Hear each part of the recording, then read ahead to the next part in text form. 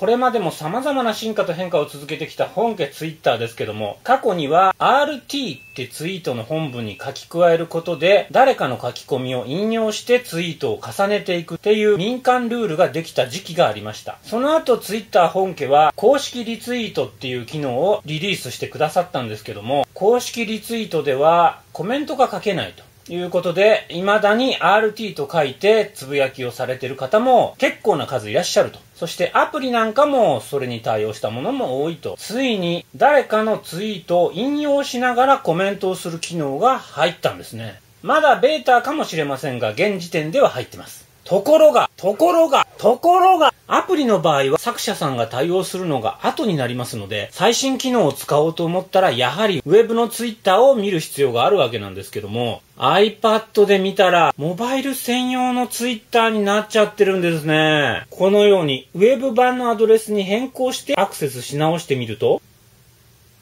やっぱり勝手にモバイル版にリダイレクトされてしまうんですね。どこをどう見ても PC 版の Twitter に変更する機能がない。なんだよ、Twitter さん。と嘆いていた皆さん、このアドレスでアクセス。ほらなんとこれで PC 版の Twitter を iPad で楽しむことができるようになりました。本人が書いたツイートに被せて自分のツイートを表示できるんですね。これで誰かのツイートを改ざんしたとか、大事なところを勝手に割愛されて本意が伝わらなかったとか、もう削除したはずなのにコピー増殖していて収集がつかないなんてことはないんですね。この機能がベータのテストを終えて皆さんに浸透してくれば、アプリなんかも対応してくるでしょうから、まあ、PC 版にこうやって行かなくても良くなるかもしれませんが、何かと PC 版に行ってみたいっていうこともあるでしょうから、かつらむき。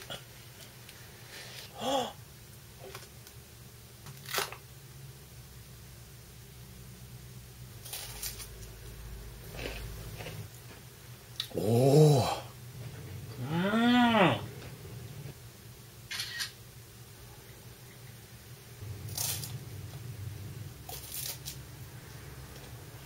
ごちそうさまでした。